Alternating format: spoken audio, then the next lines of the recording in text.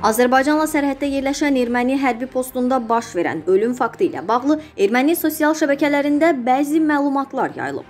Sosial şəbəkə istifadəçiləri erməni 2002-ci il təvəllüdlü əskər Levon Siroyanın daxili mübahisənin qurbanı olduğunu iddia edib. Bildirilib ki, Siroyan əvvəlcə öz döyüş yoldaşlarına atəş açıb, daha sonra isə özünü güllələyib.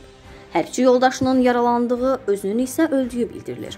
Bu məlumatın həqiqətə uyğun olmasını təsdiqləyən digər fakt isə Ermənistan Müdafiə Nazirliyinin rəsmi açıqlamasıdır. Belə ki, Ermənistan Müdafiə Nazirliyi Siroyanın ölməsi və digər hərbçinin yaralanmasının səbəbi kimi Azərbaycan ordusunun hücumu haqqında şayələri təkzib edib. Nazirlik qeyd edib ki, Azərbaycan ordusunun hər hansı atəş açması və hücumu barədə iddiaların heç bir əsası yoxdur. Ermənistan Müdafiə Nazirliyi əskərin ölümü ilə bağlı faktın araşdırıldığını qeyd edib. Bildirək ki, Ermənistan Müdafiə Nazirliyinin məlumatına görə cənub-şərq sərhəddindəki mövqelərdən birində daha bir güllə yarası almış erməni əskəri 19 yaşlı Eduard Rüstəmyanın da meyidi tapılıb.